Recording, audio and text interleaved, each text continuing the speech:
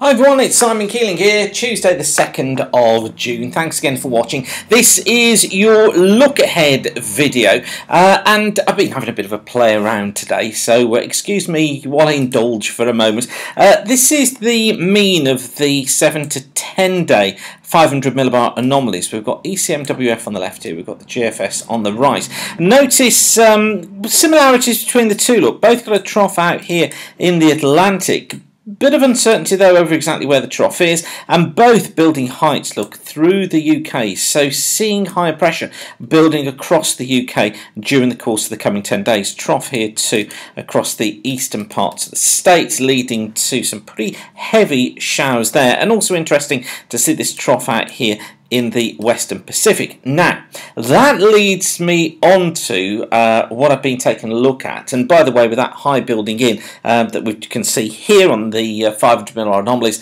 that's kind of leaning us into next week. The idea of higher pressure building and the idea that it probably stays like that through to about the 12th or the 13th of the month before uh, we see some sort of breakdown into fairly hefty showers. Um, incidentally, I should say Friday looks pretty interesting with the risk of some rain. More on that tomorrow, and Gary will have more on that in the fast forecast for you as well.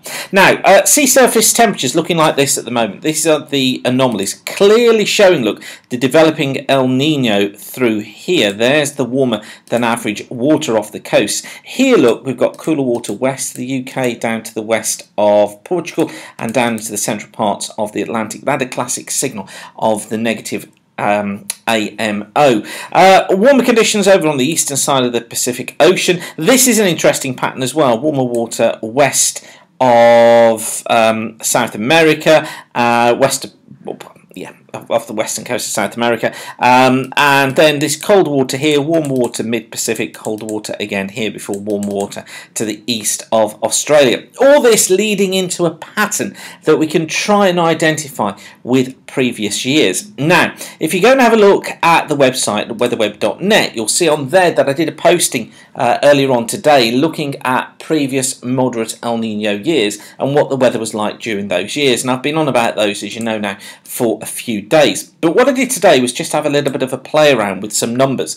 And I went with all El Nino years that are similar to this year. So I've kind of extended the range of what we were uh, originally looking at. And this is the mean of the 500 millibar flow for Junes of those years. And what they're doing is they're kind of masking the higher than normal pressure that we've been looking at across the northeast of the country here, and they tend to lead more into a westerly flow. Now, if you then compare that with the years that run more closely to those uh, to this year, then this is what you end up with. You see, you, you kind of get a, a, a watered down pattern. You get uh, a pattern which shows, um, yeah, similar-ish conditions with low the normal heights look down towards the south of the country coming through here but it accentuates the higher the normal heights up here towards the uh, northeast. So I mean that that's the pattern that we're using. That's the pattern when you look at all El Nino years similar to this one. Now if we just go on and, and by the way I should say that actually this is how June looks as if it's going to shape up just at the moment.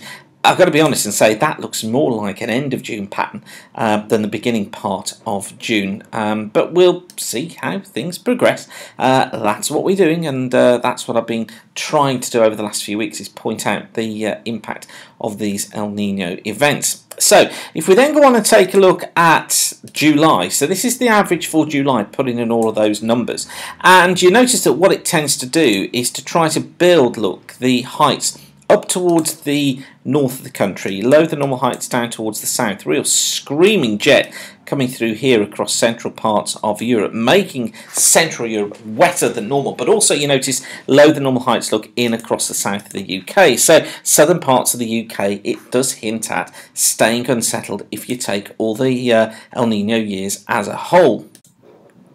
And then in August, that's what the pattern does look.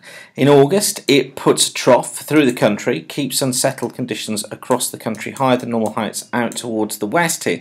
And the pattern that we get building basically is a ridge through here a high over Scandinavia and then a trough down through the uh, British Isles.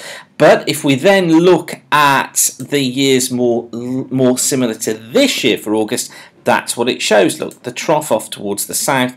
There's the uh, high west and east. It again though keeps that trough across more southern parts of the country. So you can't get away from the idea that although high pressure is kind of meandering around and close by to the country during these El Nino years what it tends to lean to is the jet being pushed further south troughs being over the country and conditions across the UK tending to be more on the unsettled side.